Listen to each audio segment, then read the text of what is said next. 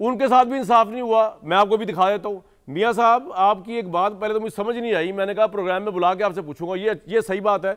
अल्लाह का शुक्र, आमिर साहब उस शो में जिसमें आप कह रहे थे कि हम कठपुतली हैं, हमारी हुकूमत कठपुतली है, हमारे पल्ले ही कुछ नहीं। मैं ये कह रहा हूँ तो आमिर भाई कह रहे हैं कि जी आप ये क्यों कह रहे हैं? इनके पल्ले कुछ भी नहीं है, देखा जाए। क्योंकि जिस जिस हुकूमत के अंदर मियाँ जावेद लतीफ़ नहीं होंगे, उस हुकूमत के पल्ले क्या होगा? क्यों जी मियाँ साहब?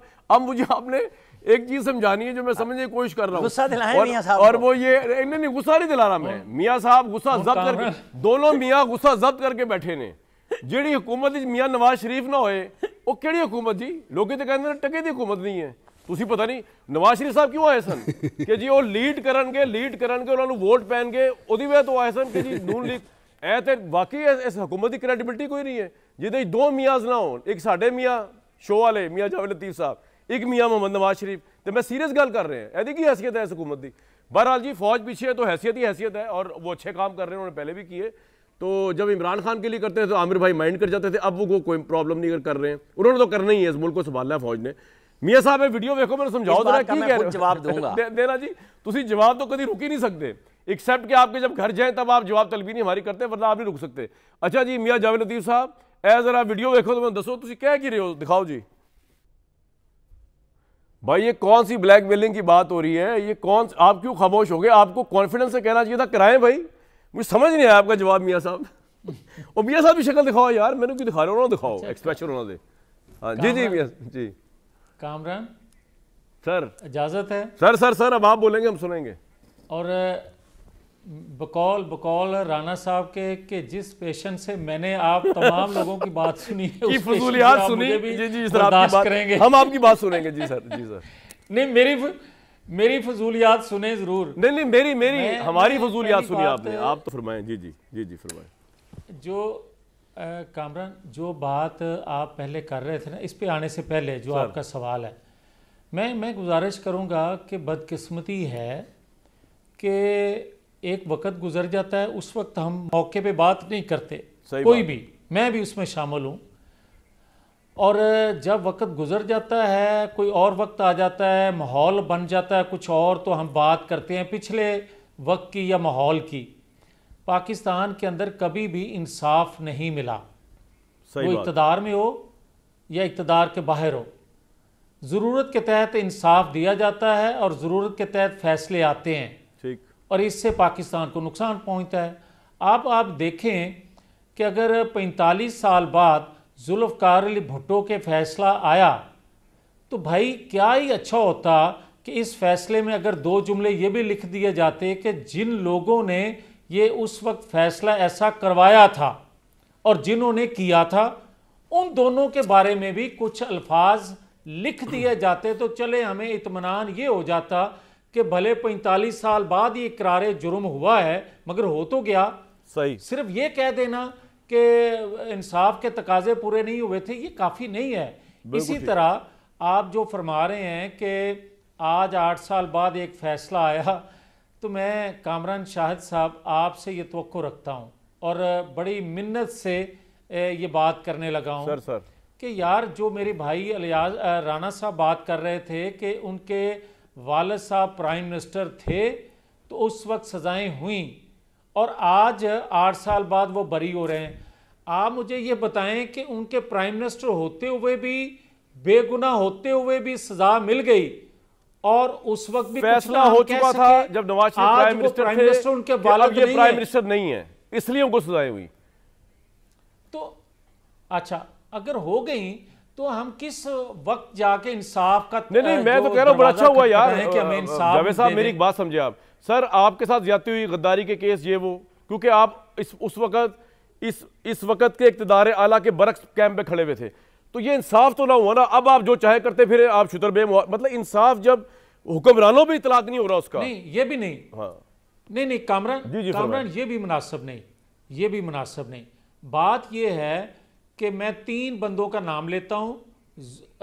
जुल्फ़कार अली भुट्टो पैंतालीस साल बाद आप दिखा रहे हैं उसको कि इंसाफ के तकाजे पूरे नहीं हुए। आठ साल बाद नवाज़ शरीफ के केस को आप देख रहे हो कि इंसाफ के तकाजे पूरे नहीं होना तो ये चाहिए कि जिन्होंने सजा दिलवाई थी या दी थी आठ साल बाद उनके बारे में भी लिखा जाए कि इन लोगों ने पाकिस्तान की बर्बादी कर मैं आपसे एग्री करता उनके हूँ बारे में तो कुछ नहीं अब मेरा सवाल मेरा अब आपने जो इंटरव्यू दिया नहीं एक सेकंड एक सेकंड जी सर नहीं मेरे भाई एक सेकंड अब मैं तीसरा नाम ले लूँ। तीसरा नाम है इमरान खान। वाह। मुझे ये बताएँ इमरान खान गिरफ़्तार हैं और 9-10 मई के वाक़े को 10 साल 10 माह हो गए हैं। आप मुझे ये बता दें कि इद्दत का केस का फैसला आ गया दीगर फैसले आ गए।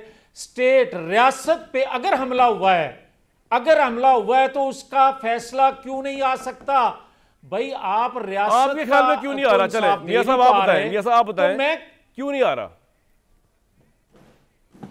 सहूलतकारी है। यार अच्छी सहूलतकारी है। इंतजामी निशान उसके पास नहीं था। जीत के वो हुकूमत में नहीं आ सका। तो फिर भी सहूलतकारी है सर। वो वो एक सेकंड ओ भाई भाई मेरी बात सुन लेना। आप ये बताएँ कि अगर ये तीन फैसले इलेक्शन से एक हफ़्ता पहले ना दिए जाते अच्छा ये तो भी इमरान खान के हक में दिए गए। ठीक है सर। अच्छा मियाँ साहब मेरी गए अब मेरी अब मेरा-। इस इंटरव्यू ने एक आप जो आप- आपके आपने सवाल किया अब अब मैं दोबारा रिपीट करता हूँ। आपके इंटरव्यू ने आपसे बात हो रही है सर कॉन्ट्रोवर्सी जनरेट की कि आप खुदा ना खास्ता ये कह रहे हैं कि पता नहीं क्या हुआ। आप क्यों खामोश हो गए जब बात हुई एन एक की? आपने क्यों कहा कि ब्लैकमेलिंग हो रही है इस पे आपके साथ? मैं मैं मैं बताता हूँ मैं बताता हूँ। मैं कामरान शाह साहब सर। ऑन ओथ कह रहा हूँ ये बात ऑन ओथ कह रहा हूँ ये बात कि पैसे लेके जिताया या हराया जाए तो फिर ऐसे ही रियासतें चलती हैं। मैं सबूत के साथ वक्त आने दें नवाज़ शरीफ के कहने पे मैं रुका हुआ हूँ दयानतदारी से कह रहा हूँ मेरे पास सारे सबूत हैं मेरे पास नाम हैं मैंने ऑन ओथ कहा है मैं नाम लूँगा। मुझे नवाज़ शरीफ के रोकने की वजह से आप ये कह रहे हैं कि इमरान नवाज़ खान के हक में 15-20 सीटें जितवाई गई आप कह रहे हैं किसी ने पैसे लेके ये काम किया। मुझे तो ये बात तो क्लियर करें ना थोड़ी सर मैं मैं मैं मैं बड़ा क्लियर हूँ। मैं कहता हूँ कि खैबर पख्तूनख्वा की हुकूमत भी और पंजाब के अंदर भी पिक एंड चूज़ किया गया है। मैं आपको किस लिए किया गया है? उसका मकसद क्या था? जब at the end Shahbaz Sharif को प्राइम मिनिस्टर बनाना है। नवाज़ शरीफ का रास्ता रोकना। नवाज़ शरीफ का रास्ता नवाज़ अच्छा। शरीफ का रास्ता रोकना हंग पार्लियामेंट लेके आना। भाई ये तो कोई बहुत बड़े प्लान लग रहा है। मियाँ साहब ये नवाज़ शरीफ साहब का भी ये ख्याल है कि उनका रास्ता रोका गया है खास तरीके से और हंग पार्लियामेंट? मैं मैं कामरान मैं कामरान किसी के ख्याल को नहीं जानता मैं अपनी बात कर रहा हूँ नहीं आप अभी कह रहे हैं नवाज़ शरीफ साहब ने आपको रोका हुआ है कोई किसी और पैराए में ना ले मैं बिल्कुल बिल्कुल मैं मेरे पास बहुत से सबूत हैं मैं बात करूँगा और मैं तो रख रहा हूँ बात ही खत्म कर दीजिए आपने तो। हो मैं आ गया आपका। रख रहा हूँ मैं जो सवाल छोड़ के जा रहा हूँ ना, million हूँ dollar question। कि अदारों एक सेकंड एक सेकंड का। सवाल करने से पहले एक सेकंड मैं तो रख रहा हूँ कि अदारों के सरबरा इस पिक एंड चूज़ में शामिल नहीं थे।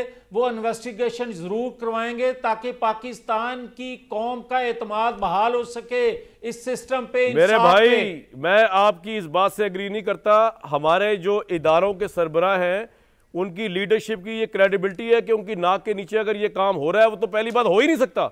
मैं तो आपसे एग्री नहीं करता इस बात पे। आपको साबित करना पड़ेगा जब भी वक्त आएगा। जब आपके पास आप वक्त है। तो- आप तो- आप आपको तो साबित भी मेरी बात सुनो मेरी बात। ये आप ऐसे ही कह रहे हैं कि मेरे नीचे जितनी टीम है दुनिया न्यूज़ की या ऑन द फ्रंट टीम की वो पैसे ले रहे हैं और मुझे पता ही नहीं है। और आप कह रहे हैं कि जी आप इन्वेस्ट और मुझे नहीं अच्छा, पता। और मैं उस इदारों को लीड कर अच्छा, रहा हूँ जो पाकिस्तान के सबसे बड़े अच्छा, इदारे मेरी- साहब। मैं मैं आपके मैं नहीं मानता ये आपकी बात। एक बंदे को पैसे दे के आया था चेक कर लें। आपके नीचे एक बंदे को पैसे दे के आया मेरे नीचे? फिर बात कर नहीं आप किसकी बात कर रहे हैं? ऑन द फ्रंट की टीम की बात कर रहे हैं या किसी की बात देती होनी है। दसो दसो। कितनी गल कर रहे हो? मेरी तो टीम पूरे पाकिस्तान फैलिया ने। हाँ, यही तो बात है। हाँ। आपको पता ही नहीं पता नहीं टीम में मिल के आए हो। ठीक। मियाँ साहब, माशाल्लाह, आजकल आप पे जो है ना, सच बोलने का मैं लफ्ज दोहरा इसलिए नहीं बोलना चाह रहा, मैं तो खैर, आप- ये ना समझेगा मैं कोई वो कर रहा हूँ। लेकिन मुहावरा है ना, सच बोलने का दौरा पड़ गया किसी पे तो अच्छी बात है। आजकल आप सच बोल रहे